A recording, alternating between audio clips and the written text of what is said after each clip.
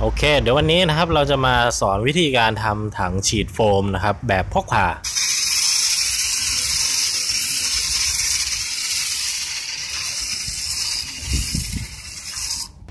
กดไลค์แล้วไปดูกันเลย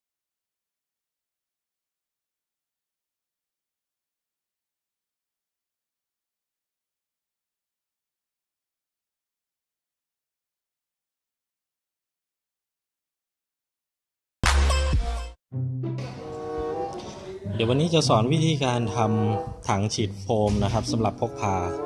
อุปกรณ์ก็จะมีถังฉีดพ่นให้พวกปุ๋ยนะครับ ใช้ในงานเกษตรนะครับ หาซื้อได้ที่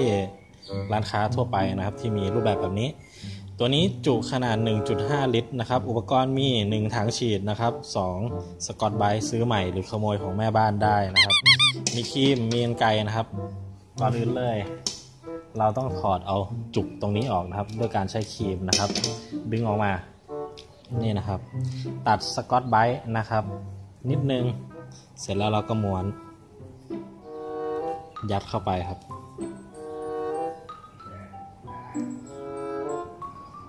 ยัดเข้าไปแบบนี้ เนี่ยครับ แล้วก็ยัดกลับเข้าไปเหมือนเดิม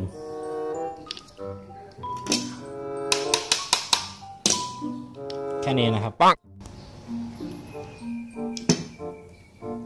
หลังจากยัดสกอตไบรท์เสร็จแล้วเรียบร้อยนะครับ ตรงนี้นะครับเราดึงออกมา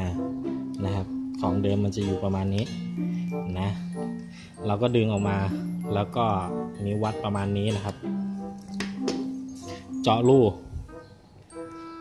เจาะรูนะครับ ในนี้ผมเจาะแค่สามรูนะครับ แค่นี้เองหนึ่งรูนะครับสองรูสามรูนี่ สองสามแค่นี้นะครับ แล้วเราก็เสียบกลับคืน เข้าไป ต่อไปเราจะมาทดสอบนะครับ ส่วนน้ำในนี้นะครับ ก็จะใช้เป็นโฟมล้างรถจริง ๆ ก็ได้ หรือจะใช้เป็นพวกแชมพูหรือน้ำยาล้างจานนะครับ แล้วแต่เรานะครับ แต่นนี้เป็นโฟมล้างรถนะครับทำเองง่าย ๆนะครับ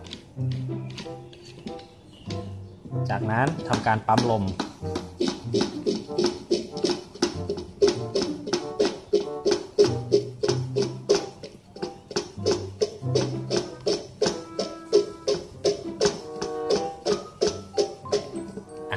เสร็จแล้วมาดู นี่นะครับ เราจะใช้งาน พอเราปั๊มเสร็จแล้วครับ ฉีดเลย อะ ปรับที่หัวนะครับ ให้มันออกมานิดนึง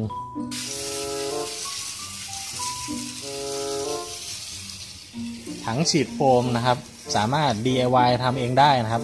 ใช้เวลาแค่ 2 นาทีก็เสร็จแล้วเรียบร้อยนะครับนี่โฟมหนานุ่ม